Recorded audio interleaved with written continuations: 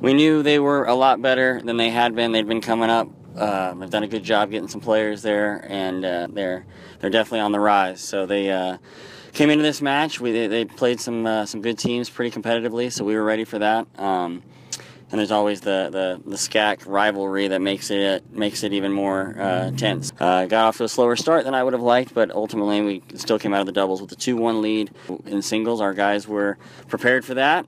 Their number two guy is a very good player. Um, that was our our only loss. Uh, was at line two singles, and then um, you know we got a, a win at line three singles and a win at line one singles, and ultimately line four singles clinched the match for us. And then uh, we also went on and won five and six singles as well. But uh, it was a good match. It was good, uh, good for us to see them before we actually got to the SCAC tournament, so we can uh, kind of know what's what's in front of us. Um, our guys are are alert now and, and ready for that. Uh, we've got a couple good matches tomorrow um, against Colorado College and Austin College.